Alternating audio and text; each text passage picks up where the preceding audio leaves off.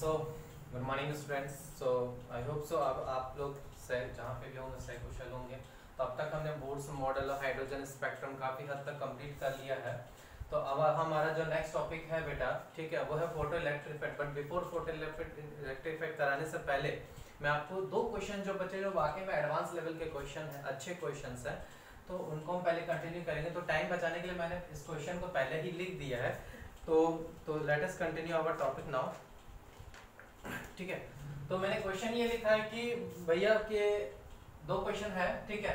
पहले क्वेश्चन वाला अ hydrogen like electron is observe to emit six different wavelength originating from all possible transition between the group of level these level have energy between minus zero point eight five electron volt to zero minus zero point five four four electron volt including both the energy level find atomic number the level find the value of n of this level and calculate the longest wavelength in this transition just wait for a second okay sorry technical technical issue tha okay now so let us continue our this question see पहले हमेशा question को समझा करें कि question कहना क्या चाहता है ठीक है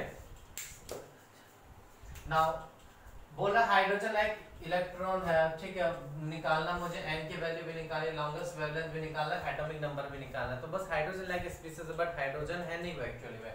कहीं ऐसा ये सोच के डायरेक्ट फॉर्मूला मत पुट कर देना कि 0.585 इलेक्ट्रॉन वोल्ट होता है, चौथा या तीसरे लेवल का। तो ऐसा नहीं, पहले क्वेश्चन को समझिए आप, ठीक है? बोल रहा है hydrogen like electron observe to emit six different wavelength मतलब कुछ कहानी इस तरीके से हुई होगी, ये न्यूक्लियस होगा, ये n इक्वल टू n1 होगा, और ये n इक्वल टू n2 हुआ होगा। कुछ इस तरीके से कहानी हुई होगी। अब क्या बोल रहा है? इन ट्रांजिशन से जब हो रहा मतलब n2 से जब वो m1 जा रहा तो सिक्स डिफरेंट वेवलेंथ वो एमिट कर रहा है। तो आपको शायद पता होगा कि जब नंबर ऑफ़ जंप्स का मैंने आपको ग्राउंड स्टेट के लिए फॉर्मूला दिया था, था क्या फॉर्मूला था? N into n minus 1 by 2 लेकिन अगर वही अगर कोई इलेक्ट्रॉन n2 से n1 पे जाता है तो हमने क्या फॉर्मूला दिया था उसके लिए? Very good n2 minus n1 into n2 minus n1 plus 1 by two तो ये फॉर्मूला दिया था। तो अगेन मुझे तो ये तो पता है कि भैया नंबर ऑफ़ जंप्स कितने हैं। तो n2 minus n1 into n2 minus n1 plus 1 equal to 6 divided by 2 क्या मैं इसको इस तरीके से लिख सकता हूँ? क्योंकि सिक्स डिफरेंट वेवलेंथ उसमें दिया हुआ है। देखिए यहाँ पे, ठीक है? Now n2 minus n1 n2 minus n1 plus 1 को 12 के बराबर कर सकता हूँ। Now multiply this two तो you will get n2 minus n1 का whole square, okay? Plus n2 minus n1 minus 12 क्या मैं इसको इस तरीके से लिख सकता हूँ? बिल्कुल लिख सकता हूँ, कोई इशू नहीं है। अब ये क्या क्वाड्रेटिक इक्वेशन नहीं बना? X square plus x minus c plus minus c equal to zero quadratic equation को मैं तो इसके रूट निकालने के लिए मैं क्या कर सकता हूँ? रूट निकालने के लिए आपको याद होगा minus b. Okay? Now, what is the value of b? B is 1 okay? Plus minus. ठीक है? Ax square plus bx minus c वही आपने जो क्वाड्रेटिक इक्वेशन पढ़ा हुआ ना इनिशियली तो डिस्क्रिमिनेंट डिस्क्रिमिनेंट मेथड लगा रहे हम लोग। तो यहाँ पे b square minus four ac तो बी स्क्वायर तो मेरा again 1 square minus minus plus 4 एक a तो 1 हो गया मेरा और c कितना है मेरा? Very good 12 okay divided by two a a again मेरा वन हो जाएगा। तो इसको मैं लिख सकता हूँ वन प्लस माइनस ए कितना हो जाएगा? Forty eight plus nine forty nine under root forty nine by two तो अब देखो n two minus n one की जो वैल्यू होगी बेटा सिंपल सा बात है नेगेटिव नहीं हो सकती। अगर आप सेवन लेते भी हो let say one plus minus seven by two अगर आप वन वन माइनस सेवन लेते हो तो n two minus n one कभी भी नेगेटिव नहीं हो सकता क्यों क्योंकि n two should be greater than n one n2 should be greater than n1 तभी ये चीज़ें पॉसिबल हो सकती है तो मैं क्या बोल सकता n2 minus n1 1 plus 7 by 2 कितना 4 आना चाहिए था शायद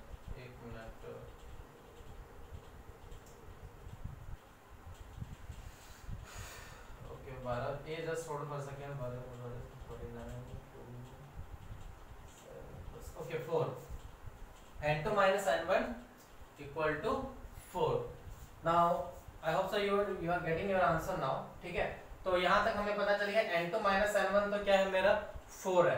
अब आप समझिए बात को। और उसने क्या दिया हुआ? इसने दिया हुआ 0.85 इलेक्ट्रॉन वोल्ट और 0.55 इलेक्ट्रॉन वोल्ट 0.85 इलेक्ट्रॉन वोल्ट और 0.55 इलेक्ट्रॉन वोल्ट अब बात को समझो थोड़ा।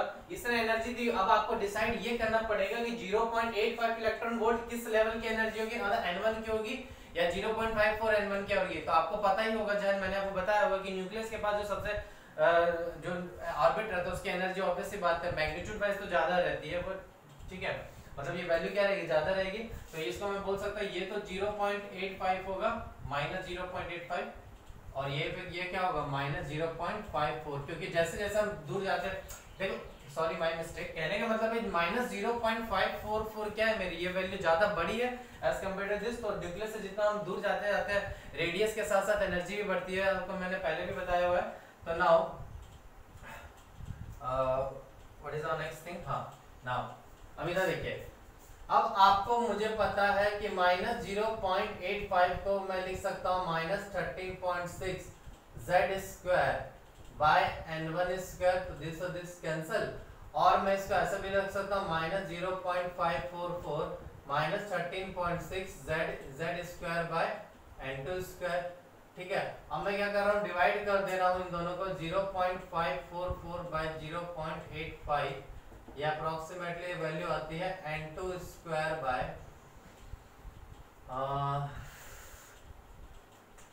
एक मिनट ओके सॉरी ऊपर वाले को नीचे से डिवाइड कर दो, ठीक है? दिस और दिस कैंसिल तो 0.85 बाय 0.544 इज़ इक्वल टू कितना हो जाएगा? n2 square by n1 square तो n2 बाय n1 जो हो जाएगा 0.85 बाय 0. 544 ये अप्रोक्सीमेटली 1.25 आता है. कितने टाइम्स आता है?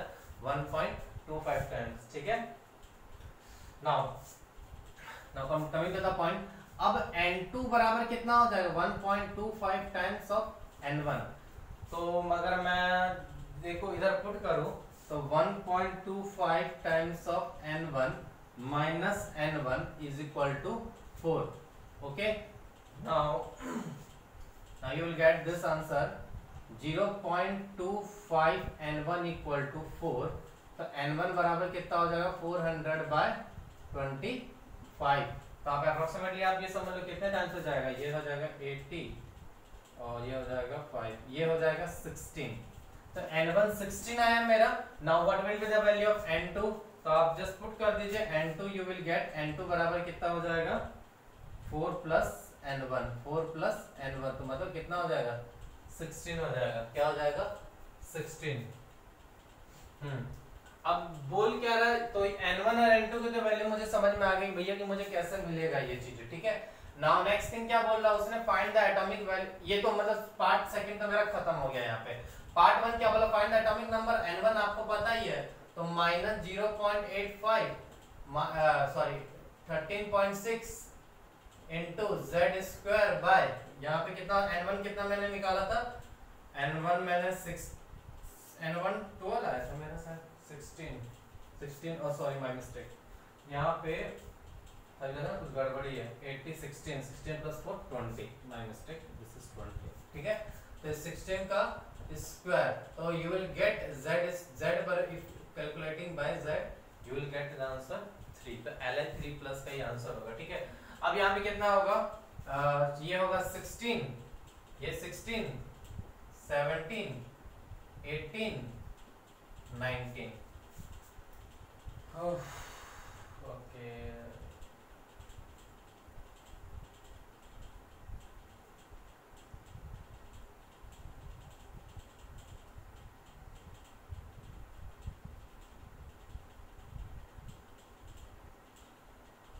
okay okay. Now z आ गया आपको लॉन्गेस्ट वेवलेंथ कहाँ मिलेगा? लॉन्गेस्ट वेवलेंथ इस ट्रांजिशन में मिलेगा। किस ट्रांजिशन में मिलेगा? इस ट्रांजिशन में आपको लॉन्गेस्ट वेवलेंथ मिला। आपको से देखो बेटा एनर्जी जैसे जैसे हम आगे जाते हैं एनर्जी गैप को जो क्या होता है, घटती जाती है। आपको याद मैंने बताया होगा E2 E1 should be less than क्या होगा? E3 E2 तो जैसे जैसे एनर्जी जाते जाओगे तो 20 से 19 की जो एनर्जी गैप होगा, सबसे कम होगा। इसका वेव मतलब वेवलेंथ सबसे ज़्यादा इसी का होगा। तो 1 बाय लैम्डा पुट करके आप क्या कर सकते हो? RH into z square one by nineteen square minus one by twenty square इस तरीके से हम क्या कर सकते हैं? वेवलेंथ भी कैलकुलेट कर सकते हैं। ठीक है मेरे बच्चों? अब हमारा जो है नेक्स्ट क्वेश्चन है। नेक्स्ट क्वेश्चन थोड़ा अच्छा है वो भी इस लेवल पे।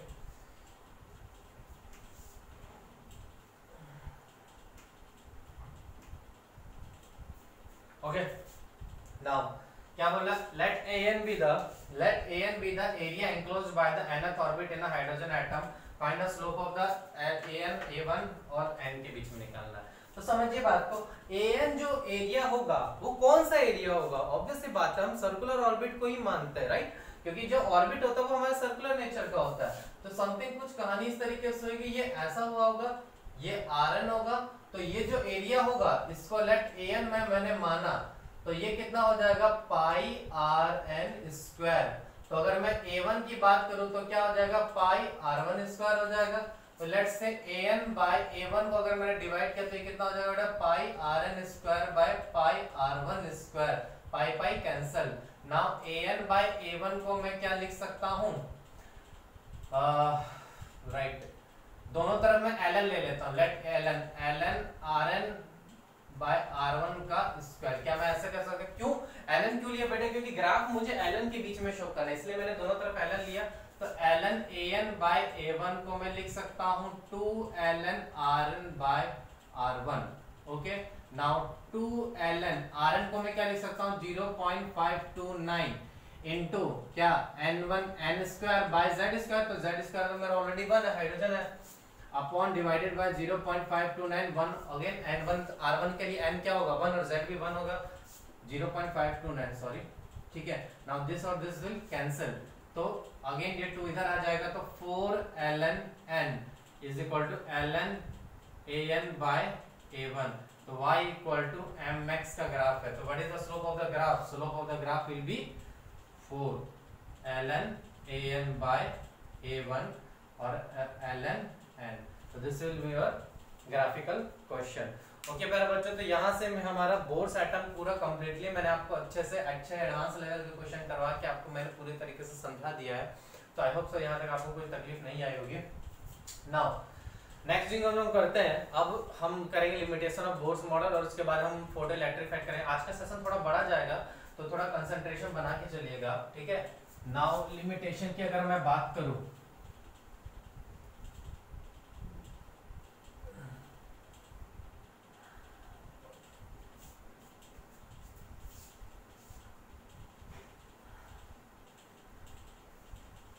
ठीक है?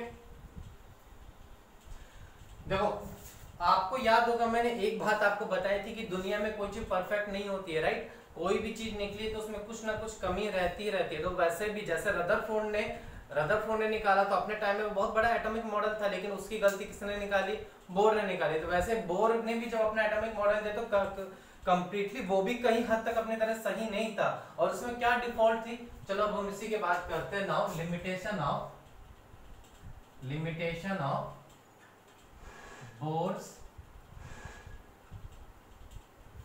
atomic model. Bohr's atomic model. आखिर क्या क्या लिमिटेशन थी बोर्स एटॉमिक मॉडल के? ठीक है? तो पहला it is valid only for single electron system या इसको बोल सकते हैं it is not valid for it is not valid for multi electron system it is not valid for multi electron system तो यहाँ तक आपको प्यारे बच्चे समझ में आए? क्योंकि मैंने आपको पहले ही दिन या पोस्टुलेट्स में शायद याद करें, मैंने आपको बताया था कि बोर्स का एटॉमिक मॉडल सिर्फ़ उन एटम पे वैलिड होता है जिसके पास सिर्फ़ एक इलेक्ट्रॉन होता है like hydrogen helium plus l i two plus b beryllium three plus तो इन सब पे ही uh, ये मेरा बोर्ड्स का एटॉमिक मॉडल एप्लीकेबल होता है। बाकी मल्टी इलेक्ट्रॉन सिस्टम पे वो कभी भी वैलिड नहीं होता है ठीक है? सेकेंड थिंग जो थी ठीक है? If a source of spectral line is subjected to magnetic field or electric field. If a source of a spectral line is subjected to electric magnetic field or electric field then finer lines are formed near by spectral line कहने का मतलब क्या है कि मान लो वो जो source याद करिए मैंने आपको बोर्स का मतलब कि हमें हाइड्रोजन की ब्लूइश बीम निकले थे, उस ब्लूइश बीम का मैंने प्रिज्म पे टकराया था और आफ्टर दैट मुझे क्या मिला था? डिसकंटिन्यूस फॉर्म में मुझे स्पेक्ट्रल लाइन मिला था, जिसको मैंने बैंड फॉर्म भी बोला था कि थोड़ी देर मिल रही थी बैंड के फॉर्म में, फिर थोड़ी देर नहीं मिल रही थी, फिर थोड़ी देर मिल रही थी, फिर थोड़ी देर नहीं मिल रही थी। तो उनको मैंने बैंड फॉर्म में भी बोला था, या डिसकंटिन्यूस फॉर्म में भी आप बोल सकते हो। तो मतलब कुछ इस तरीके से कि अब जैसे ही उस सोर्स को मैंने इलेक्ट्रिक फ़ील्ड या मैग्नेटिक फ़ील्ड के प्रेजेंस में रखा तो यहाँ पे क्या होगा एक स्पेक्ट्रल लाइन के पास में आजू बाजू देखो, मैं बहुत ज़्यादा तो नहीं दिखा पाऊँगा। तो बहुत सारे एक छोटे छोटे पतले पतले लाइंस फॉर्म हो गए थे। मैग्नेटिक फ़ील्ड और इलेक्ट्रिक फ़ील्ड के प्रेजेंस में। और this explanation was not given by Bose. This explanation was not given by Bose. ये एक्सप्लेनेशन नहीं दिया था और ये कहीं ना कहीं उसका फेलियर होने का सबसे बड़ा रीजन भी बना था। ओके मेरे बच्चों? नाउ इसके बाद क्या होता है? If splitting of lines into finer lines in present of magnetic field is called Zeeman effect बोलते हैं क्या बोलते हैं इसको Zeeman effect and if it splits in electric field is called Stark effect Stark का तो नाम सुनते ही आपको आयरन मैन की याद आ गई होगी राइट बट ये वो टॉनी स्टार्क नहीं है। ये अपना कोई और स्टार्क है जिसने एक्सपेरिमेंट किया था, ठीक है? तो यहाँ तक आपको सारी बच्चों, प्यारे बच्चों क्लियर आ गई होंगी ये बातें, ठीक है? तो ये एक्सप्लेनेशन कहीं ना कहीं बोर नहीं दे पाया था। बट ऐसा नहीं कि बोर की सारी बातें नेग्लेक्ट करते हैं। जो उसने बात बताई थी शेल एनर्जी शेल की जो बात उसने कही थी, वो नो डाउट आज तक उस बात को फॉलो किया जाता है कि एनर्जी शेल होते हैं एटम के अंदर n one n two n three infinite तो ये बात मतलब सही थी उसकी, वो फेल नहीं हुआ था हर बात पे। तो कुछ बात को एक्सप्लेनेशन नहीं दे पाया था, ठीक है? Now our next topic is very important now photoelectric effect photoelectric effect okay होता क्या photoelectric effect तो देखो whenever any electromagnetic radiation whenever any electromagnetic radiation is irradiated on a photoelectric substance whenever any electromagnetic radiation is irradiated on a photoelectric substance then electron comes out of surface with some kinetic energy is called as photoelectric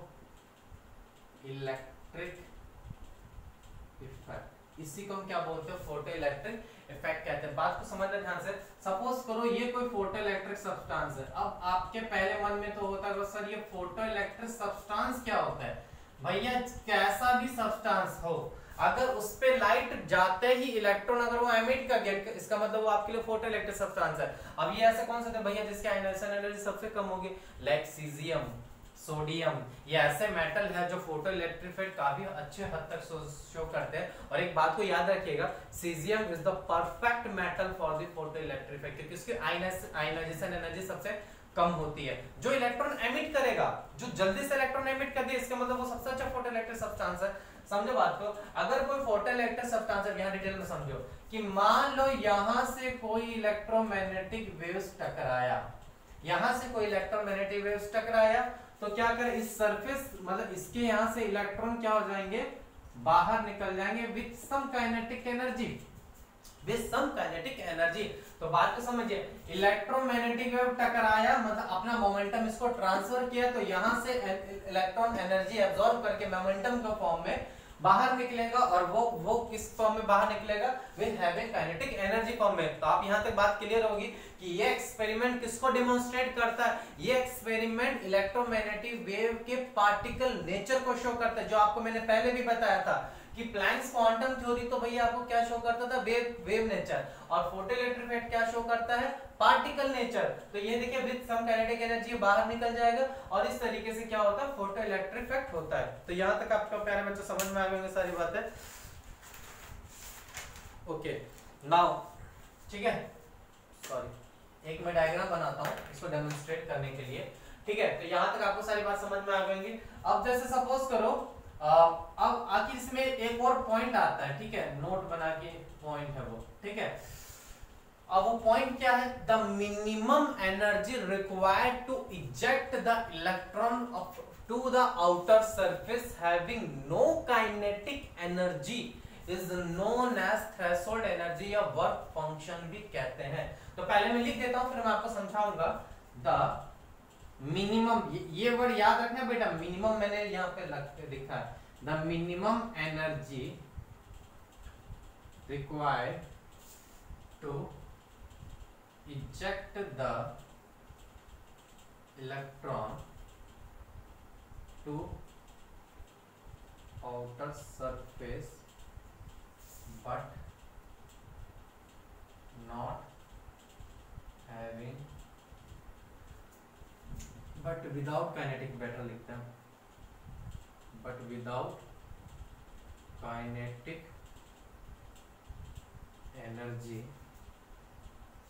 but without kinetic energy but without kinetic energy to eject electron to the outer surface but without kinetic is called threshold energy और work function is called threshold energy or work function मतलब जो minimum energy आपको चाहिए इस substance को ताकि इसका electron बाहर निकल जाए, ठीक है? उस उस एनर्जी को हम क्या बोलते हैं? वर्क फ़ंक्शन बोलते हैं थ्रेशोल्ड एनर्जी बोलते हैं? आई बात समझ में? मतलब समझो बात को कि जैसे सपोज़ करो यहाँ पे कोई मेटल है इलेक्ट्रोमैग्नेटिक वेव टकराया। इलेक्ट्रॉन एब्जॉर्ब किया, सिर्फ़ सरफेस तक आया बट यहाँ पे काइनेटिक एनर्जी उसकी ज़ीरो हुई। मतलब जो एनर्जी आपको सरफेस तक पहुँचाने के लिए चाहिए बट इलेक्ट्रॉन के पास काइनेटिक एनर्जी ज़ीरो होनी चाहिए उस समय तो वो क्या होगा? तो उसको हम क्या बोलते हैं? थ्रेशोल्ड एनर्जी बोलते हैं। कहने का मतलब है, आपने इलेक्ट्रोमैग्नेटिक वेव्स इस सरफेस को दिया मेटल ने इलेक्ट्रोमैग्नेटिक वेव्स अब्सॉर्ब किया मेटल ने अब्सॉर्ब करे भाई उसका एटम अब्सॉर्ब करे। एटम में इलेक्ट्रॉन होंगे तो वो इलेक्ट्रॉन इतना सफिशिएंट एनर्जी अब्सॉर्ब करेगा ताकि वो मेटल के सरफेस तक आ जाएगा। लेकिन उसके पास वेलोसिटी ज़ीरो रहेगी, क्योंकि उसके अब क्यों? क्योंकि यही थ्रेशोल्ड एनर्जी की डेफिनेशन होती है कि यहाँ तक तो आ जाएगा बट उसके पास कोई काइनेटिक एनर्जी उस समय होगी नहीं। और इसी एनर्जी को हम क्या बोलते हैं? थ्रेशोल्ड एनर्जी बोलते हैं। या आप इसको आयनेशन एनर्जी भी बोल सकते हो बट ये आयनेशन एनर्जी हम पीरियडिक टेबल में डिफाइन करते हैं। तो बेसिकली थ्रेशोल्ड एनर्जी या वर्क फ़ंक्शन इसको याद रखिएगा। आई बात समझ बेटा? वर्क फ़ंक्शन का फॉर्मूला होता है एच म्यू नॉट इसको हम ऐसे भी लिख देते हैं। एच तो मेरा प्लैंक्स क्वांटम म्यू नॉट होता है थ्रेशोल्ड फ्रीक्वेंसी बोलते हैं। तो क्या बोलते हैं? थ्रेशोल्ड फ्रीक्वेंसी आई बात समझ में बच्चों? यहाँ तक क्लियर हुआ। तो it is the minimum frequency required for photoelectric effect अब प्यारे बच्चों, ध्यान से समझो। सपोज़ करो ये 15 जूल है। ये है 15 जूल आपने इलेक्ट्रोमैग्नेटिक वेव्स दिया यहाँ पे। इलेक्ट्रोमैग्नेटिक वेव्स की, इलेक्ट्रोमैग्नेटिक वेव्स में क्या होंगे भैया? फोटॉन्स होंगे, फोटॉन्स इससे टकराएँगे। तो फोटोन ही तो एनर्जी ट्रांसफ़र करेगा ना बेसिकली इलेक्ट्रॉन को। तो फोटोन की एनर्जी है एच म्यू और उसकी मान लो फ्रीक्वेंसी सपोज़ करो 13 जूल है। क्या वो इतनी सफिशियंट एनर्जी को ट्रांसफ़र कर पाएगा ताकि मेरा इलेक्ट्रॉन बाहर निकल सके? नहीं निकल, नहीं हो पाएगा। लेकिन अगर 15 तक किया, मान लो इस फोटोन के पास 15 जूल है, और इसने इसने ट्रांसफ़र किया एनर्जी उतनी तो इलेक्ट्रॉन बाहर निकलेगा बट उसकी काइनेटिक एनर्जी क्या होगी? ज़ीरो होगी। इट मीन यहाँ पे जो फोटोन की एनर्जी वो किसके बराबर हो गई? जल्दी बोलिए। वर्क फ़ंक्शन के बराबर हो गई। यहाँ पे किसके बराबर हुई? वर्क फ़ंक्शन के बराबर हुई। समझ में आए लेकिन क्या अभी भी फ़ोटो इलेक्ट्रिक होगा? होगा। इस केस में होगा। लेकिन मुझे फ़ोटो करंट नहीं मिलेगा। क्योंकि देखो करंट में करंट वर्ड क्यों यूज़ कर? रहा हूँ बात को समझिए। ये आपको मैं आगे समझाऊँगा। जस्ट के बाद हम यही सब पढ़ना। स्टॉपिंग पोटेंशियल फ़ोटो करंट समझ में बात? क्योंकि आपको भी पता है इलेक्ट्रॉन का ट्रांसफ़र को ही करंट फ्लो बोलते हैं याद है? तो जब इलेक्ट्रॉन का फ्लो ही नहीं हुआ तो करंट नहीं डेवलप करेगा फ़ोटो इलेक्ट्रिक इफ़ेक्ट तो होगा इलेक्ट्रॉन बाहर निकलेगा बट विदाउट काइनेटिक एनर्जी लेकिन अगर मान लो वर्क फ़ंक्शन 15 जूल है, लेकिन मैंने 17 जूल की एनर्जी ट्रांसफ़र करी उसके पास तो भैया इलेक्ट्रॉन 15 जूल तो अपने अंदर खर्च कर लेगा, बाकी सब ट्रांसफ़र कर देगा. तो remember one thing photoelectric effect में one photon remove one electron one photon remove one electron या बेसिकली आप ये भी बोल सकते हो it is one photon one electron equation अब ये इक्वेशन क्यों बोला? समझो, आपने एनर्जी दी कौन सी? एच म्यू इसका एनर्जी कितनी दी? एच म्यू दिया। Total energy h mu energy conservation लगाइए। एब्जॉर्ब कितनी किया इसने? इलेक्ट्रॉन को सरफेस पे लाने तक के लिए W या एच म्यू नॉट भी आप लिख सकते हो। और बच्चे की एनर्जी किसमें चली गई? काइनेटिक एनर्जी में। तो this is known as known electric equation is it is known as as photoelectric equation इसी को हम क्या बोलते हैं? फ़ोटो इलेक्ट्रिक इक्वेशन भी बोलते हैं। तो यहाँ तक आपको बहुत हद तक क्लियर हो गई होगी। एच म्यू को फिर हम क्या लिख सकते हैं? H mu nought plus kinetic energy तो यहाँ तक प्यारे बच्चों, आपको समझ में आ गया होगा। मैंने आपको क्या समझाने की कोशिश कर रहा हूँ। अब समझो बात को। यहाँ पे थोड़ा एक इंपॉर्टेंट ग्राफ आता है यहाँ पे, ठीक है? ये बहुत इंटरेस्टिंग टॉपिक है वैसे। और आपको थोड़ा बहुत मुझे लगता है कि आपने फ़ोटो इलेक्ट्रिक इफ़ेक्ट का प्रैक्टिकल यूज़ तो किया होगा। अब वो प्रैक्टिकल यूज़ कहाँ पे किया होगा मैं आपको बताता हूँ। जनरली आप शॉपिंग मॉल वगैरह में जाते होगे, ठीक है? बड़े बड़े शोरूम में जाते होगे। तो देखो ऑटोमेटिक डोर वहाँ पे रहता है। Automatic door it is based on the photoelectric effect जैसे याद करिए, कुछ इस तरीके से सिस्टम बना रहता है यहाँ। यहाँ पे सपोज़ करो दो ऐसे मेटल प्लेट है, और इसको मैंने ऐसे कनेक्ट कर दिया, ठीक है? मैंने कुछ सॉफ्टवेयर इस तरीके से डेवलप किया कि अगर इसमें करंट फ्लो करेगा तो तो दरवाज़ा बंद रहेगा। करंट फ्लो नहीं किया तो दरवाज़ा तो मान लो यहाँ पे इलेक्ट्रिक करंट फ्लो हो रहा है, इस मेटल प्लेट पे तो इलेक्ट्रॉन ऊपर जाएँगे। इलेक्ट्रॉन ऊपर जाएँगे तो फिर अगेन ये पूरा क्या सर्किट में करंट फ्लो करेगा। लेकिन जैसे कि सामने वाला बंदा सामने आ जा रहा है तो करंट फ्लो होना क्या हो जाएगा? बंद हो जाएगा ऑटोमेटिकली क्या हो जाएगा? करंट सॉरी जब इस रे के सामने कोई आ जाएगा तो इलेक्ट्रॉन इजेक्ट होना बंद हो जाएँगे। और जब इलेक्ट्रॉन इजेक्ट ही नहीं होंगे तो इसका मतलब ये सर्किट इनकम्प्लीट हुआ करंट फ्लो नहीं कर रहा। और मैंने आपको पहले बताया कि उसमें सॉफ्टवेयर इस तरीके से डेवलप होता है सिस्टम इस तरह से डेवलप किया जाए। जब करंट फ्लो नहीं करता है तो दरवाज़ा खुल जाता है। जब करंट फ्लो करंट फ्लो होता है तो दरवाज़ा बंद रहता है। तो ये इसी प्रिंसिपल पे ऑटोमेटिक ऑटोमेटिक डोर जो होता है, वो बेस्ड होता है। तो ये जस्ट मैंने आपको एक लिटिल बिट आइडिया दिया है। खैर, हमारा पॉइंट तो था कि भाई हमें क्या सीखना है यहाँ पे। तो ये तो पहला पॉइंट फ़ोटो इलेक्ट्रिक इफ़ेक्ट का हुआ। अब आपको मैं जो सिखाना जा रहा हूँ, ठीक है? समझिए बात को, वो क्या है? काइनेटिक एनर्जी क्या मैं एच म्यू की काइनेटिक एनर्जी या काइनेटिक एनर्जी को मैं लिख सकता हूँ? H mu minus h mu nought क्या मैं इसका ऐसे भी लिख सकता हूँ? अगर मैं ग्राफ प्लॉट करूँ, किसकी? काइनेटिक एनर्जी ठीक है? और मैं सपोज़ करो फ्रीक्वेंसी का ग्राफ प्लॉट करो। किसका? फ्रीक्वेंसी का। तो ये म्यू का होगा। तो काइनेटिक एनर्जी की अगर मैं बात करूँ तो इस एक्स एक्सिस में कहीं ना कहीं एक ऐसा पॉइंट होगा, जिसको हम म्यू नोट कह सके। क्योंकि अगर इससे कम फ्रीक्वेंसी हो तो इलेक्ट्रिक इफ़ेक्ट कभी होगा नहीं। अब बात को समझना बेटा। This is equal to y m x minus c sorry m x minus c का ग्राफ है। तो इसका जो y इंटरसेप्ट है, वो नेगेटिव है बेटा। तो नेगेटिव है तो कुछ समथिंग ये यहाँ से होते हुए इस तरीके से ये ग्राफ प्लॉट होगा। तो ये आपको हद तक समझ में आ गया होगा कि काइनेटिक एनर्जी और थ्रेशोल्ड फ्रीक्वेंसी सॉरी फ्रीक्वेंसी का ग्राफ क्या होता है। ठीक है मेरे बच्चों? इसके बाद हमारा नेक्स्ट टॉपिक आता है लाइट इंटेंसिटी लाइट इंटेंसिटी, जिसको हम आई से भी डिनोट करते हैं। तो पहले होता क्या मैं लिख देता हूँ? The energy required,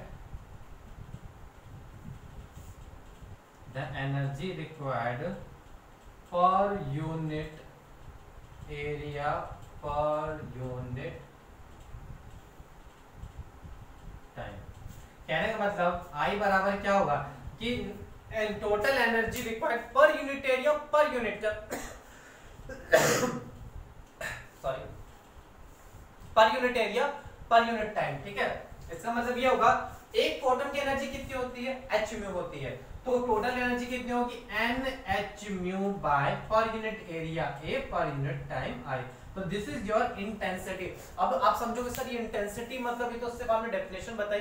बेटा ब्राइटनेस जैसे आप रेड कलर देखते हो तो कभी कभी आपको रेड ब्राइट कलर भी दिखता है कभी कभी थोड़ा डल कलर भी दिखता है। ब्राइट कलर दिख रहा है मतलब क्या? अब यहाँ पे समझो ब्राइट और डल वो क्यों हमें नज़र आता है?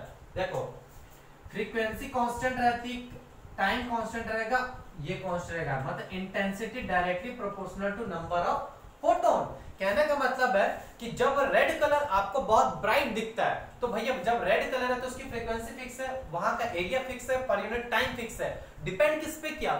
नंबर ऑफ़ फोटोन पे। तो जब बहुत ज़्यादा ब्राइट रेड है इसका मतलब क्या? नंबर ऑफ़ फोटोन बहुत ज़्यादा गिर रहा है, और या थोड़ा डल कलर है, मान लीजिए उसका तो क्या होगा? जल्दी बोले फोटोन्स कम होंगे वहाँ पे फोटोन कम गिरेंगे वहाँ से। कहने का मतलब ये भी है कि सनलाइट जब बहुत ज़्यादा ब्राइट होता है, इसका मतलब नंबर ऑफ़ फोटोन्स हमें बहुत ज़्यादा रिसीव होता है। सनलाइट कम होता है तो नंबर ऑफ़ फोटोन कम रिसीव मतलब basically intensity is directly proportional to the number of photons ठीक है? आप समझना यहाँ पे एक और टर्म आता है।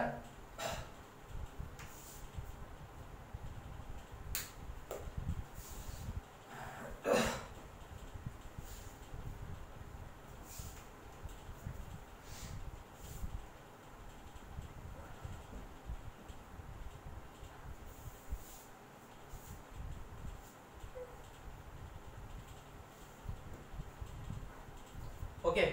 यहाँ पे जो नेक्स्ट टर्म आता हमारा, ठीक है? यहाँ आता फोटोन इंटेंसिटी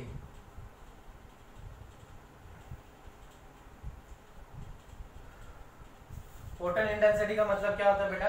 कुछ नहीं it is equal to number of photons per unit area per unit time तो सिंपल से बात है तो आपको यहाँ बात तो समझ में आएगी फोटोन इंटेंसिटी वगैरह क्या होता है। इसके बाद जो हमारा नेक्स्ट टॉपिक आता है, समझो बात को। अब मैं जो क्या सम, मैंने इंटेंसिटी का मतलब क्यों समझाया वो समझो। इंटेंसिटी का मतलब इसलिए मैंने समझाया कि सपोज़ करो कि यहाँ पे आपके पास दो सब्सटेंस है ठीक है? Photoelectric substance photoelectric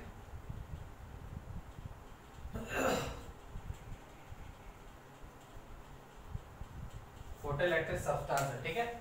अब बात को समझना थोड़ा ध्यान से। ठीक है? मान लो यहाँ पे येलो कलर की लाइट मैंने डाली। कौन से कलर की? येलो कलर की। यहाँ पे भी मैंने क्या डाली? येलो कलर की। लेकिन यहाँ की इंटेंसिटी वन रखी और यहाँ की इंटेंसिटी टू रखी। इंटेंसिटी मैंने अलग अलग रखी तो मान लो कहने मतलब यहाँ पर सेकंड अगर मुझे 50 नंबर ऑफ़ फोटोन मिल रहा है तो यहाँ मुझे पर सेकंड 100 फोटोन मिलेगा। तो मैं ये बोल सकता हूँ I2 is greater than I1 क्योंकि यहाँ मुझे 100 फोटोन पर सेकंड मिल रहा है और यहाँ मुझे 50 फोटोन पर सेकंड मिल रहा है। तो बात समझो तो जैसे यहाँ पे इलेक्ट्रोमैग्नेटिक वेव टकराएगा तो यहाँ से इलेक्ट्रॉन बाहर निकलेगा विद काइनेटिक एनर्जी के और मान लो यहाँ पे निकला with kinetic energy K two मेरा क्वेश्चन ये है कि क्या काइनेटिक एनर्जी टू बड़ा होगा काइनेटिक एनर्जी वन से, या काइनेटिक एनर्जी टू छोटा होगा काइनेटिक एनर्जी वन से? सोचो, थोड़ा दिमाग लगाओ, क्या होना चाहिए? हाँ। कुछ बच्चे ऐसा सोच रहे होंगे, सर नंबर ऑफ़ फोटोन ज़्यादा गिर रहे हैं तो इसकी काइनेटिक एनर्जी कम होनी चाहिए, क्योंकि यहाँ तो आपने 50 बोला और यहाँ आपने 100 बोला मतलब जिसकी इंटेंसिटी ज़्यादा, उसकी काइनेटिक एनर्जी भी ज़्यादा बट ऐसा होता नहीं है। अब आप ऐसे समझो बात को कि सपोज़ करो कि यहाँ, ये ये ग्लास लैब है। ठीक है? मैंने बोला कि इस ग्लास स्लैब में पिंग पोंग बॉल्स आपने देखोगे छोटे छोटे बॉल्स जो जंप करते रहते हैं। आपने खेले भी होंगे बहुत सारे। सपोज़ करो उसको मैंने 50 पिंग पोंग बॉल को मैंने उस कांच के ग्लास के ऊपर फेंक दिए, कस के विद द सेम एनर्जी क्या वो ग्लास कांच का ग्लास टूटेगा? नहीं टूटेगा। ठीक है? मैंने यहाँ 50 पिंग पोंग बॉल और बोले, और सौ पिंग पोंग बॉल ले लेता हूँ मैं। क्या तब भी वो टूटेगा? नहीं टूटेगा। अगर मैंने सिर्फ़ एक बास्केट बॉल लिया और उसको फेंका कांच के ग्लास के ऊपर तो शायद वो टूट सक टूट सकता है। कहने का मतलब क्या है बेटा? कहने का मतलब यह है कि इंटेंसिटी सिर्फ़ नंबर ऑफ़ फोटोन पर डिपेंड करती है और हर फोटोन का फ्रीक्वेंसी या एनर्जी तो सेम है। एनर्जी का तो मैंने कोई डिस्कशन ही नहीं किया, क्योंकि भैया ये भी येलो लाइट है ये भी येलो लाइट है। अरे ये थोड़ा ज़्यादा ब्राइट है, ये थोड़ा कम ब्राइट है बट फ्रीक्वेंसी तो सेम रहेगी ना। जब फ्रीक्वेंसी बेटा सेम रही तो एनर्जी सेम रहेगी। एनर्जी सेम रही तो उसी काइनेटिक एनर्जी से ही ये बाहर निकलेंगे। समझ में आया? मतलब यहाँ पे ये होगा K E one is equal to K two मतलब दोनों की काइनेटिक एनर्जी क्या रहेगी इस केस में? सेम रहेगी। तो मैं बोल सकता हूँ इंपॉर्टेंट कि intensity is independent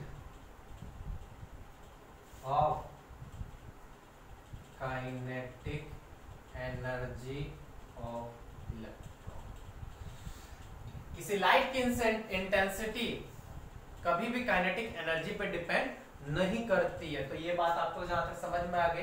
कि भैया यहाँ 50 पड़े या सौ पड़े? ठीक है?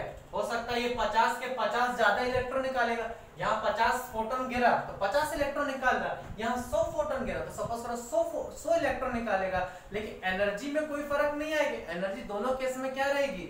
सेम ही रहेगी। तो यहाँ तक, आपको बात सारी समझ में आ गई होंगी। समझो बात को मैं क्या कहना चाहता हूँ, ठीक है? अब यहाँ पे आ रहा एक और दूसरा ग्राफ। ठीक है? ग्राफ कौन सा है ये? ये ग्राफ होगा आपका करंट का। Current versus frequency current versus frequency अगर आप तो सपोज़ आप, आपको पता है कि आपका फ़ोटो इलेक्ट्रिक इफ़ेक्ट तो म्यू नोट से ही चालू होता है। ठीक है? तो जैस, जैसे जैसे कुछ ग्राफ इंटेंसिटी का इस तरीके से होता है। ये हो गया। ये हो गया आई वन तो जैसे आप इंटेंसिटी और बढ़ाओगे, ये हो गया आई टू और जैसे और इंटेंसिटी बढ़ाओगे, ये हो गया आई थ्री तो मैं बोल सकता हूँ I three is greater than I two is greater than I one तो आप खुद से ऑब्ज़र्व करो आई थ्री का करंट ज़्यादा है आई टू से और आई टू का करंट आई वन से ज़्यादा है। तो आप देखो ना, जैसे जैसे जैसे जैसे बढ़ता है तो ऐसे ऐसे करंट भी क्या होगा? बढ़ इंटेंसिटी बढ़ रही है। वैसे वैसे करंट भी बढ़ता है। तो इस, ये नेचर होता है ग्राफ का करंट वर्सेस इंटेंसिटी का। सॉरी करंट वर्सेस फ्रीक्वेंसी का। तो यहाँ तक आपको बात समझ में आई बेटा, ठीक है? तो this is your second graph third point जो हमारा आता है, समझो, अब मैं इसको एक्सपेरिमेंटल फॉर्म में समझाऊँगा। क्यों ऐसा? इसके पीछे कॉन्सेप्ट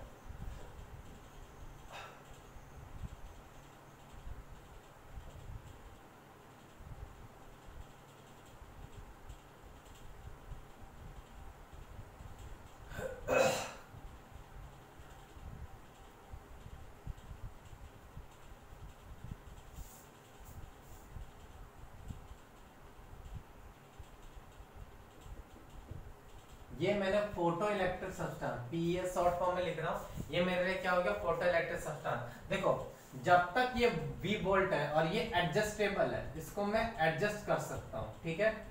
यहाँ पे एम मीटर लिखा है। एम मीटर किस लिए होता है बेटा? एक ऐसा डिवाइस जो करंट को मेज़रमेंट करता है, ठीक है? एम मीटर हम उसको बोलते हैं, ठीक है? बात समझना। अगर ये पॉजिटिव तो ये पॉजिटिव इलेक्ट्रोड हो गया, ये नेगेटिव इलेक्ट्रोड देखो, मैं समझाने की क्या कोशिश कर रहा हूँ। ये एक्सपेरिमेंटल डेमोन्स्ट्रेशन लिया मैंने। तो यहाँ पे मैंने एक फोटोइलेक्ट्रिक सब्सटेंस रखा, ठीक है? और यहाँ पे यहाँ पे कुछ नहीं है ऑलमोस्ट मेरा मेटल है। जब तक यहाँ पे स्विच ऑन है, मान लो यहाँ पे अभी मैंने स्विच ऑन ऑफ़ रखा है स्विच ऑन नहीं किया तो जब तक मैंने स्विच ऑफ़ रखा है तो यहाँ पे कोई पोटेंशियल डिफरेंस होगा नहीं। ये कोई पोटेंशियल डिफरेंस नहीं होगा तो नॉर्मली इलेक्ट्रोड के जैसे बिहेव करेगा, ठीक है? जैसे ही कोई लाइट मान लो, यहाँ पे पड़ती है तो इलेक्ट्रॉन क्या होगा बेटा? बाहर निकलने की कोशिश करेगा with some kinetic energy with some kinetic energy और आपको पता है द फ्लो ऑफ़ इलेक्ट्रॉन को ही हम क्या बोलते हैं? फ़ोटो करंट बोलते हैं, इसी करंट बोलेंगे और इसी, क्योंकि ये जो करंट फ़ोटो इलेक्ट्रिक इफ़ेक्ट के द्वारा होता है, इसी को हम क्या बोलते हैं? फ़ोटो करंट भी बोलते हैं। तो यहाँ तक बात आपको समझ में आई होगी बेटा?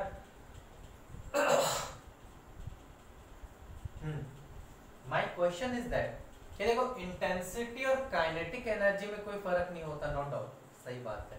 लेकिन अगर मैं बात करूँ कि सपोज़ करो कि भैया आपने दो इंटेंसिटी का लिया, एक आई वन और एक आई टू और आई टू अगेन अभी भी बड़ा है तो मान लो आई टू में सो इलेक्ट्रॉन निकल रहे हैं और आई वन में 50 फोटोन निकल रहे नॉट इलेक्ट्रॉन सॉरी I2 में सो फोटोन निकल रहे हैं और I1 में 50 फोटोन निकल रहे तो 100 फोटोन 100 इलेक्ट्रॉन का निकालेगा और 50 फोटोन 50 इलेक्ट्रॉन का निकालेगा। तो फ्लो ऑफ़ और चार्ज इलेक्ट्रॉन मतलब क्या? चार्ज तो चार्ज ई से मल्टीप्लाई कर दूँगा तो 100 ही हो जाएगा और एक का 50 ही हो जाएगा। और चार्ज पर यूनिट पर सेकंड को हम क्या बोलते हैं? फ्लो करंट बोलते हैं। मतलब मैं ये बोल सकता हूँ जिसका इंटेंसिटी ज़्यादा, वो ज़्यादा फोटोन निकालेगा और जो ज़्यादा फोटोन निकालेगा, वो ज़्यादा इलेक्ट्रॉन निकालेगा। और फ्लो ऑफ़ इलेक्ट्रॉन को हम क्या बोलते हैं? करंट बोलते हैं, बेटा बेसिक डेफिनेशन हमने भी पढ़ी है। हम सबने पढ़ी है 10th क्लास तक तो flow of electron is nothing but flow of current तो जिसकी इंटेंसिटी ज़्यादा, उसका करंट भी क्या होगा? ज़्यादा होगा। तो यहाँ तक आपको बात समझ में आई। तो ये मैंने आपको पहले बता दिया सॉरी क्योंकि एक्चुअली ये इसके ऊपर है। तो आप ये थोड़ा ध्यान रखिएगा सॉरी मैंने बाय मिस्टेक आपको पहले बता दिया। तो जिसकी इंटेंसिटी ज़्यादा होगी बेटा, उसका करंट भी क्या होगा? ज़्यादा होगा। तो मैं लिख सकता हूँ कि intensity is directly proportional to photocurrent अगर किसी बच्चे को इस ग्राफ में फिर भी दिक्कत आई होगी तो आप यहाँ से समझ सकते हो कि थ्रेशोल्ड फ्रीक्वेंसी से इलेक्ट्रॉन तो निकलना चालू होगा। एक सर्टेन पॉइंट तक करंट निकलेगा। लेकिन जैसे जैसे आप इंटेंसिटी बढ़ाते जाते वैसे वैसे करंट की वैल्यू भी क्या होती जाती है? बढ़ते जाते अगर आपको नहीं समझ में आया तो आप यहाँ से भी समझते दो इलेक्ट्रॉन फिर से दो दो फोटोन लिए मैंने एक एक लाइट में 50 फोटोन निकालने की टेंडेंसी एक में 100 फोटोन निकालने की टेंडेंसी है मतलब 100 फोटोन वाले का आई टू ये 100 फोटोन वाला है, ये 50 फोटोन है। मतलब I2 इसलिए ज़्यादा है क्योंकि इंटेंसिटी नंबर ऑफ़ फोटोन पे डिपेंड करती है। मैंने ये माना कि 100 फोटोन 100 इलेक्ट्रॉन के निकाला इसका मतलब I2 वाले का करंट ज़्यादा होगा I1 से। ऑब्वियस से बात है क्योंकि वो नंबर ऑफ़ करंट इलेक्ट्रॉन ज़्यादा निकाले तो उसका करंट की वैल्यू क्या होगी? ज़्यादा होगी। तो यहाँ पे जो रीडिंग मिलेगी आपको करंट की, वो I2 के लिए ज़्यादा मिलेगी। इसलिए जैसे जैसे इंटेंसिटी बढ़ता है करंट की वैल्यू भी क्या होती है? बढ़ती है। तो आई होप से यहाँ तक आपको समझ में आया होगा। अब मैंने क्या किया? तो यहाँ तक बात क्लियर हुआ। अब सपोज़ करो मैंने क्या किया? यहाँ पे क्लोज कर दिया सर्किट पहले तो सर्किट ओपन था। सर्किट ओपन होने की वजह से ये पोटेंशियल यहाँ पे कोई फ़र्क नहीं डाल रहा था। बात समझ गए? लेकिन जैसे ही पोटेंशियल डेवलप जैसे ही आप स्विच ऑफ़ करोगे तो यहाँ पे पोटेंशियल डेवलप होगा। तो अगेन ये नेगेटिव चार्ज हो जाएगा। पोटेंशियल डेवलप होने की वजह से यहाँ पे इलेक्ट्रिक फ़ील्ड जनरेट होगा। अब आपको पता है, एक चार्ज पे फोर्स जो लगेगा उसके अपोजिट डायरेक्शन में नेगेटिव टू पॉजिटिव लगता है और उस फोर्स की वैल्यू मैंने क्यू ई e बताई थी, जो अपोजिट डायरेक्शन में लगे। इलेक्ट्रॉन आपका किस डायरेक्शन में जा रहा है? इलेक्ट्रॉन इस डायरेक्शन में जा रहा है। फोर्स आपका कहाँ लग रहा है? फोर्स अपोजिट डायरेक्शन में लग रहा है। तो मतलब इलेक्ट्रॉन डिसलरेट करेगा मतलब उसकी स्पीड क्या होगी? कम होगी। और आप जैसे जैसे पोटेंशियल बढ़ाते जाते हो, यहाँ पे फोर्स क्या होते जाएगा? बढ़ते जाएगा राइट पोटेंशियल बढ़ाने तो इलेक्ट्रिक फ़ील्ड बढ़ेगा इलेक्ट्रिक फ़ील्ड बढ़ेगा मतलब यहाँ फोर्स बढ़ेगा फोर्स बढ़ेगा तो इसका मतलब नेगेटिव नेगेटिव का रिपल्शन बढ़ेगा। अब जैसे बढ़ेगा तो एक समय ऐसा आएगा कि यहाँ पे जाके इलेक्ट्रॉन क्या हो जाएगा? स्टॉप हो जाएगा। और जब इलेक्ट्रॉन स्टॉप हो गया, इसका मतलब there is no flow of current इसका मतलब जिस पोटेंशियल पे फ़ोटो इलेक्ट्रॉन रुक जाता है। उस उसको हम क्या बोलते हैं? स्टॉपिंग पोटेंशियल तो यहाँ मैं लिख देता हूँ। The potential at which at which flow of photoelectron stops is called stopping potential is called stopping potential. इसको मैं V नॉट से रिप्रेजेंट कर देता हूँ. सपोज़ को किससे रिप्रेजेंट कर दे रहा हूँ मैं? V नॉट से. थोड़ा ध्यान से समझना बेटा. V नॉट से मैंने इसको रिप्रेजेंट तो कर दिया। अब बात कहने का मतलब ये है कि स्टॉपिंग पोटेंशियल का और एक्सेलरेटिंग पोटेंशियल देखो दो पोटेंशियल मैंने आपको यहाँ ज़िक्र किया था कभी ये by m ratio accelerative potential वगैरह जो मैंने आपको बताया था। Stopping potential accelerated potential almost same होता है। अगर नहीं समझ में आ रहा तो फिर से देख लो सपोज़ करिए पॉजिटिव प्लेट है और ये नेगेटिव प्लेट है। अगेन ये क्या है? कोई बैटरी से कनेक्टेड है ठीक है?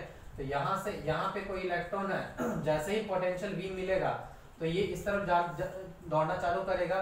क्योंकि यहाँ पे क्या था? पोटेंशियल जैसे मिला तो यहाँ पे इसको पोटेंशियल एनर्जी मिली। यहाँ पे सपोज़ करो होल था तो ये क्या होगा? काइनेटिक एनर्जी यहाँ से इस होल से बाहर निकल जाएगा and the potential energy is converted into the kinetic energy right वैसे ही अगर मान लो कोई इलेक्ट्रॉन है, आ रहा है उसी काइनेटिक एनर्जी से, उल्टा सोचो कि वही इलेक्ट्रॉन इसी काइनेटिक एनर्जी से जा रहा है तो यहाँ पे आके क्या हो जाएगा? स्टॉप हो जाएगा। और जिस वोल्टेज पे, जिस पोटेंशियल पे स्टॉप होगा, इसका मतलब क्या होगा? उसको स्टॉपिंग पोटेंशियल बोलते हैं। मतलब अगेन यहाँ काइनेटिक एनर्जी पोटेंशियल एनर्जी में कन्वर्ट हुई है। फिर अगर मान लो जो वोल्टेज या जो पोटेंशियल मुझे इलेक्ट्रॉन को स्टॉप करने में काम आता है तो उसको हम स्टॉपिंग पोटेंशियल बोलते हैं। और जो वोल्ट जो पोटेंशियल मुझे इलेक्ट्रॉन को एक्सेलरेट करने में काम आता है तो उसको हम क्या बोलते हैं? क्या बोलते हैं? एक्सेलरेटिव पोटेंशियल तो आपको यहाँ तक बात क्लियर हो गई होगी।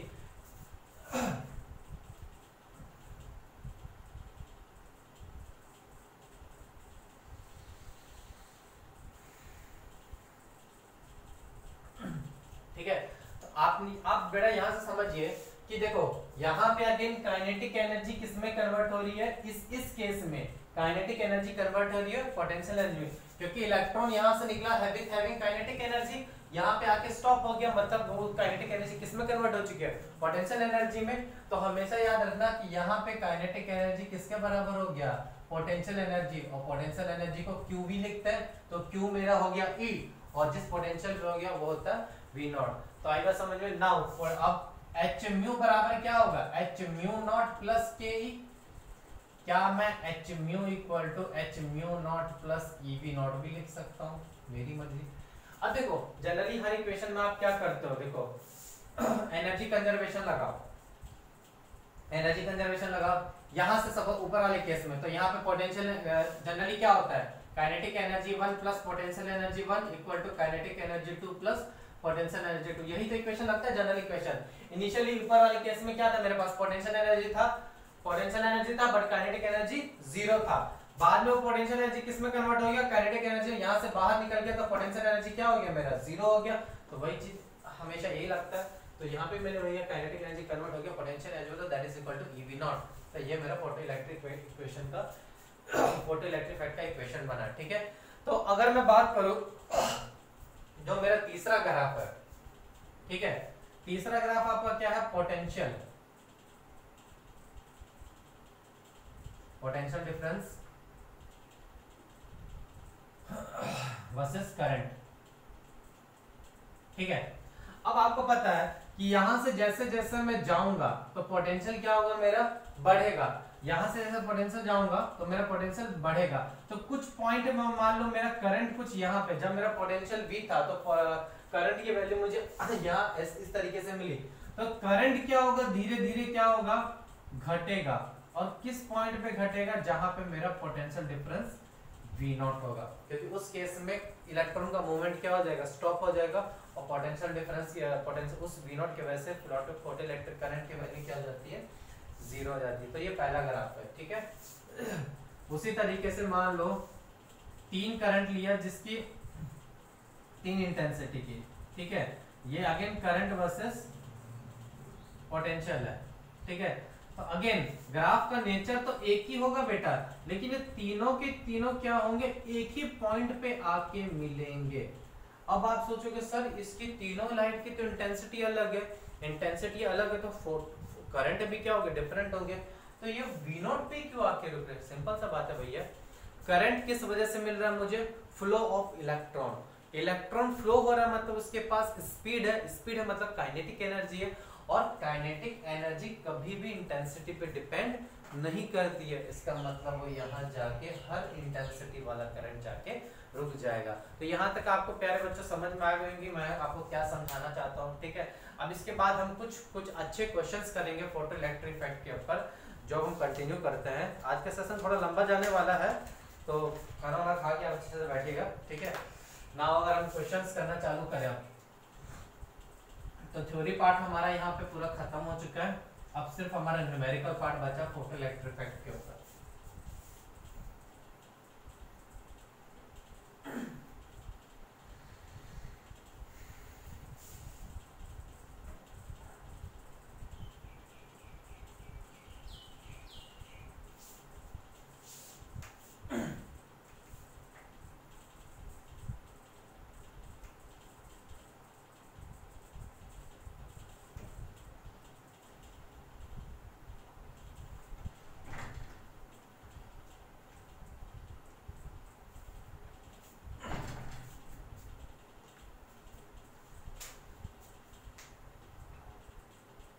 Number one. Calculate velocity of electron. Calculate velocity of an electron placed in placed in third orbit of H atom. Sorry. Sorry just a minute हाँ थोड़ा सेकेंड थोड़ा गलत होता है मैंने sorry my mistake my mistake sorry sorry sorry sorry sorry sorry okay now question one when a light, when a light with lambda of 400 nanometers falls on a surface of Na electrons with kinetic energy equal to 1.05 10 raised to 5 joule per mole joule per mole are emitted का पहला what is work function second what is maximum what is maximum wavelength of light what is the maximum wavelength of light that will that will emit a electron that will emit a electron ठीक है now second question our when a certain wavelength when a certain wavelength okay when a certain metal sorry when a certain metal was irradiated, was irradiated with light of, with light of mu equal to 3.2 10 का power 16 hertz जब ये frequency की unit होती है, ठीक है? ऐसा unit होती है। और इसको साइकिल पर सेकेंड में बोला जाता है बेसिकली ठीक है? The photo electron emitted the photo electron emitted has twice the has twice the kinetic energy kinetic energy as did the electron as did the electron emitted. When the same when the same metal irradiated when the same metal irradiated with light of frequency equal to 2 into 10 to the power 16 hertz. Calculate mu naught of metal again बेटा, मैं बार बार समझा रहा हूँ। Question आप लिखिए। Video pause करिए लेकिन क्वेश्चन पहले आप खुद से अटेम्प्ट करिए। उसके बाद ही आप कुछ और करिएगा। ठीक है? Now question three energy required to energy required to stop the ejection of electron. Stop the ejection of electron from metal is 0.24 electron volt. Calculate the work function W when radiation of wavelength 2480 Armstrong strikes the plate. चलो बेटा, समझो ध्यान से, ठीक है? First question हमारा क्या है? ठीक है?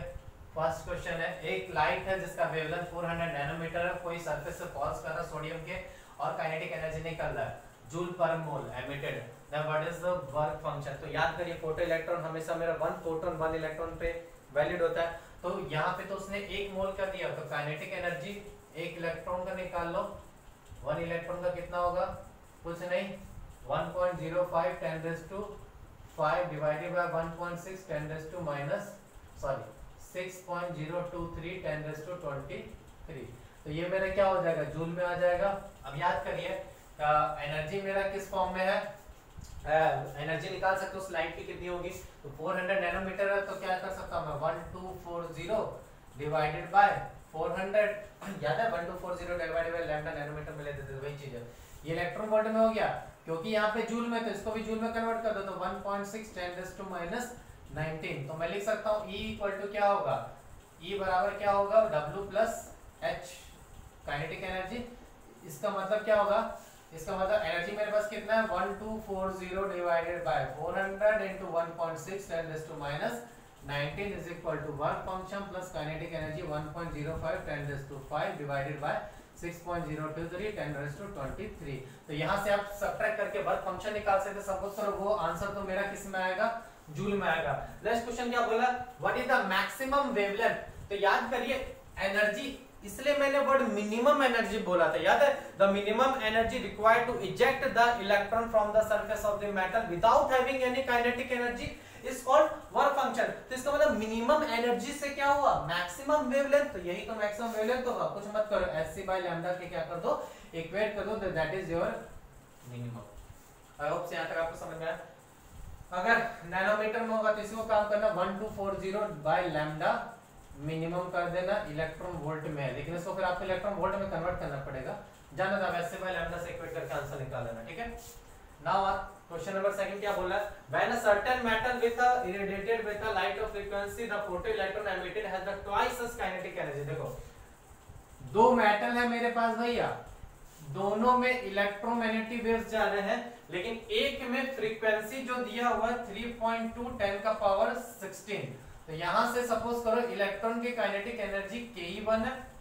और जब सेकंड पे फ्रीक्वेंसी पड़ रहा है सेकंड मेटल पे जो एनर्जी पड़ रही है, उसकी जो वेव पड़ रहा है, इसकी फ्रीक्वेंसी है 2 इंटू टेन का पावर 16 तो यहाँ से जो इलेक्ट्रॉन निकलेगा, उसकी काइनेटिक एनर्जी Ke2 बोल रहा है। लेकिन यहाँ पे कॉन्यू ट्विस्ट क्या बोला है कि the photo electron emitted has twice the kinetic energy at did the electron emitted when the same metal irradiated with the इतना मतलब अगर इसका काइनेटिक एनर्जी Ke है तो इसका kinetic energy twice of Ke यही तो बोल है कि इस यहाँ पे जो काइनेटिक एनर्जी मिलेगी, उससे दुगनी मुझे यहाँ पे मिलेगी। तो इसने ये बात बोली, ठीक है?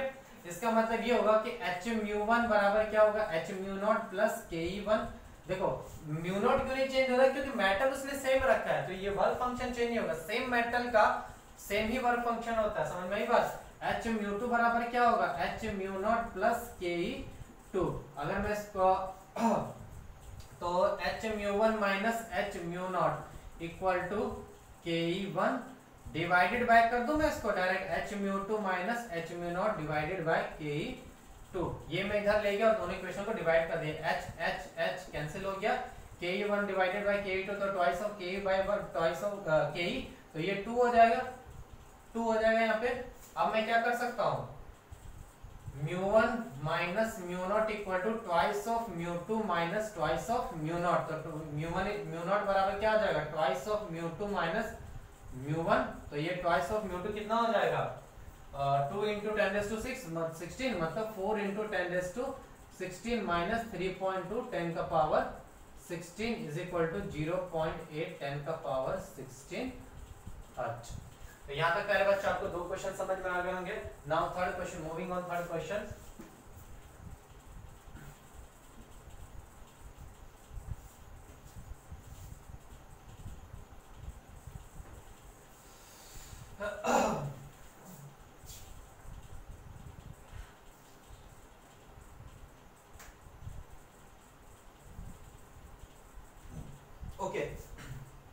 तीसरा क्वेश्चन की तरफ़ बढ़ते हैं। Energy required to stop the ejection of electron from the metal is 0.24 electron volt calculate the work function मतलब स्टॉप हो गया इजेक्शन मतलब ये जो दिया हुआ, वो आपके लिए क्या होगा? स्टॉपिंग पोटेंशियल तो क्या काइनेटिक एनर्जी बराबर स्टॉपिंग पोटेंशियल होता है? तो काइनेटिक एनर्जी बराबर कितना हुआ? 0.24 electron volt calculate work function when the radiation is इतना। कोई मेटल पे स्ट्राइक किया, कोई वेवलेंथ इतना? तो इसको भी एनर्जी निकाल निकालो टोटल एनर्जी हो जाएगी मेरी कितनी? टोटल एनर्जी आपकी हो जाएगी one two four zero by one two four zero by one two four double zero two four eight two four eight zero angstrom क्योंकि आर्मस्ट्रॉम में इसलिए one two four double zero लिया मैंने, ठीक है? दिस और दिस कैंसल तो ये हो जाएगा टेन टेन बाय टू तो ये हो जाएगा five electron volt then what is work function work function is nothing but energy minus ke so that is 5 minus 0.24 so that is nothing but 4.76 सही है क्या 4.7 हाँ बराबर है नहीं 4.66 इलेक्ट्रॉन वोल्ट होगा क्षेत्र 10 की okay 4.76 electron volt this is your work function तो आई होप से यहाँ तक आपको सारी बातें समझ में आएँगे तो मूविंग ऑन नेक्स्ट क्वेश्चन आज थोड़े हमें पाँच सात क्वेश्चन करने फ़ोटो इलेक्ट्रिक इफ़ेक्ट पे और फिर इसको खत्म करना कल से नेक्स्ट टॉपिक पे हम बढ़ेंगे फिर। ओके नाउ नेक्स्ट क्वेश्चन क्या बोल रहा है हमारा? Question number four question number four light of light of lambda कितना दिया हुआ? 280 nanometer is used in is used in photoelectric experiment photoelectric experiment with Li W बराबर 2.5 इलेक्ट्रॉन वोल्ट फाइंड फाइंड पहला maximum kinetic energy maximum kinetic energy second बोल रहा है stopping potential आसान question है। होप सो ठीक है। Now fifth number question number five question number five है stopping potential versus frequency is given graphical question है बेटा ये थोड़ा, ध्यान लगाइएगा। सपोज़ करिए कुछ इस तरीके से हुआ। ठीक है? वी इन बोल्ड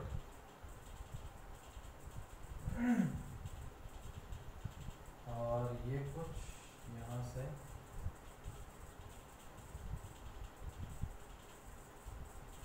इस तरीके से होगा, ठीक है? यहाँ पे one two three four five और यहाँ पे जो वोल्टेज का जो रीडिंग दिया इसने, ये है 1.656 वोल्ट का रीडिंग है, ठीक है? ओके नाउ क्वेश्चन क्या बोल रहा है? First calculate the ratio of H by E अब यहाँ पे मत कर देना एच के वैल्यू जानते हो ई के वैल्यू जानते हो निकाल देना। नहीं ग्राफ के अकॉर्डिंग आपको ये वैल्यू निकालनी है, ठीक है? सेकंड है वर्क फ़ंक्शन ठीक है? ओके ठीक है? नेक्स्ट क्वेश्चन हमारा है। हम्म, जगह नहीं है। एक काम करते हैं इसके नेक्स्ट क्वेश्चन हम करते हैं बाद में ठीक है? तो पहला क्वेश्चन हमारा क्या बोला? A light of wavelength lambda 280 nanometer question number 4 देखो क्या बोल रहा है। Light of lambda 280 nanometer used in photoelectric experiment with lithium इतना वर्क फ़ंक्शन इतना। What is the maximum kinetic energy कुछ नहीं सेम फार्मूला बेस्ड है। एनर्जी निकाल लूँगा मैं टोटल एनर्जी कितना होगा? 1240 बाय 280 दिस और दिस कैंसल तो कितने टाइम जाएगा ये?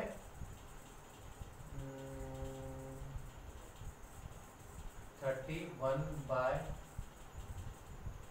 seven thirty one by seven तो ये हो जाएगा आपका मेरे हिसाब से इक्कीस, सात अट्ठाईस। अट्ठाईस फोर पॉइंट अप्रोक्सीमेटली एक मिनट वैल्यू जाती है ये।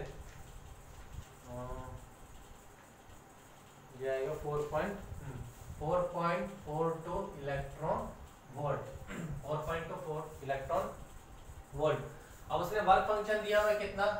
2.5 electron volt what is the kinetic energy कुछ मत करो। एनर्जी माइनस W तो कितना हो जाएगा? 4.42 माइनस 2.5 अप्रोक्सीमेटली 1.92 इलेक्ट्रॉन वोल्ट आ जाएगा।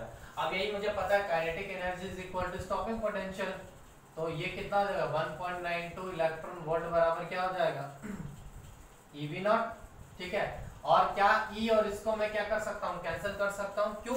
अब देखो, आप इसे इलेक्ट्रॉन वोल्ट को जूल में कन्वर्ट करने के लिए 1.6 10 टू माइनस 19 से मल्टीप्लाई करोगे। वोल्टेज ऑलमोस्ट क्या होता है मेरा? वन होता है। ई की वैल्यू आपको पता ही तो क्यों ना मैं इसको डायरेक्टली कैंसिल कर दूँ तो वोल्टेज आपका आ जाएगा 1.92 ठीक है? ना क्वेश्चन नंबर 5 थोड़ा इंटरेस्टिंग है। ठीक है? इसका सॉल्यूशन देखो। क्या बोल रहा है?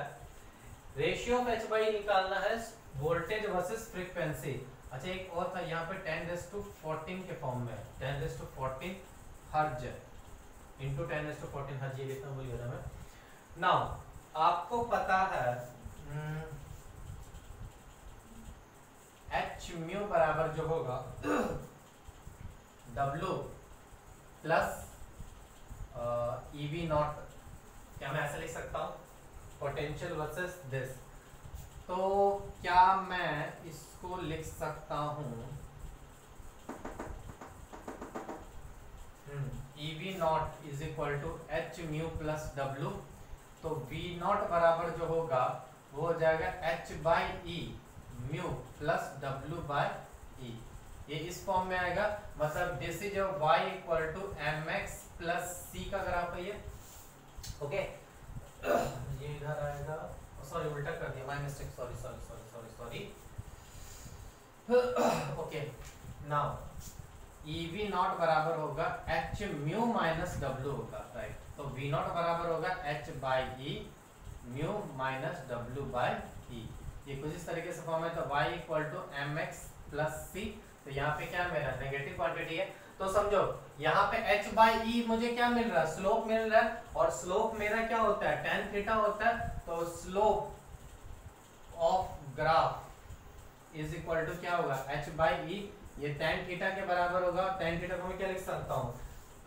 बे परपेंडिकुलर अपॉन बेस तो ये हाइट कितनी है? 1.656 1.656 डिवाइडेड बाय ये ये डिस्टेंस कितना आ जाएगा? 5 minus one four four into ten to fourteen तो h बाई ई की जो वैल्यू जो आएगी मेरी अप्रोक्सीमेटली आती है zero point four one four ten का पावर माइनस फोर्टीन ठीक है?